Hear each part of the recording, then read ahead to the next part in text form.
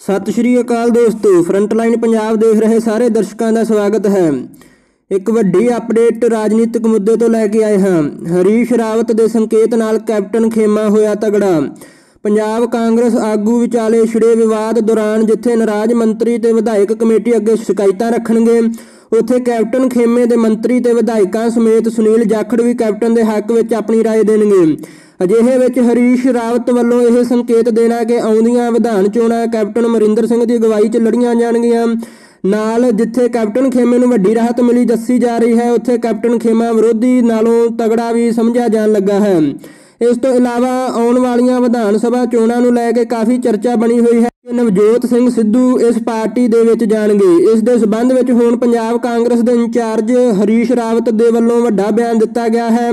ਪ੍ਰਾਪਤ ਜਾਣਕਾਰੀ ਦੇ ਅਨੁਸਾਰ ਹਰੀਸ਼ ਰਾਵਤ ਨੇ ਵਿਰੋਧੀਆਂ ਨੂੰ ਸਪਸ਼ਟ ਕਰ ਦਿੱਤਾ ਹੈ ਕਿ ਆਉਣ ਵਾਲੀਆਂ ਵਿਧਾਨ ਸਭਾ ਚੋਣਾਂ ਵਿੱਚ ਪੰਜਾਬ ਕਾਂਗਰਸ ਕੈਪਟਨ ਅਮਰਿੰਦਰ ਸਿੰਘ ਦੀ ਅਗਵਾਈ ਵਿੱਚ ਚੋਣਾਂ ਲੜਨਗੇ।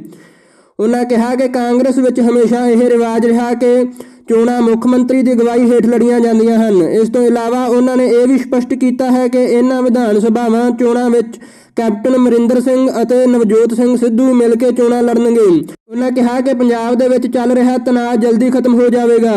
ਉਹਨਾਂ ਦੇ ਇਸ ਬਿਆਨ ਦੇ ਨਾਲ ਵਿਰੋਧੀ ਪਾਰਟੀਆਂ ਵੱਲੋਂ ਇਸ ਸੰਬੰਧੀ ਚਰਚਾ ਸ਼ੁਰੂ ਹੋ ਗਈ ਹੈ ਵੱਡੀ ਖਬਰ ਆ ਰਹੀ ਹੈ ਹਰੀਸ਼ ਰਾਵਤ ਦੇ ਸੰਕੇਤ ਨਾਲ ਕੈਪਟਨ ਖੇਮਾ ਤਗੜਾ ਹੋ ਗਿਆ ਹੈ ਇਸ ਖਬਰ ਬਾਰੇ ਆਪਣੀ رائے ਜ਼ਰੂਰ ਦਿਓ ਮਿਲਦੇ ਹਾਂ ਇੱਕ ਵੱਡੀ ਖਬਰ ਦੇ ਨਾਲ ਤਦ ਤੱਕ ਲਈ ਸਤਿ ਸ਼੍ਰੀ ਅਕਾਲ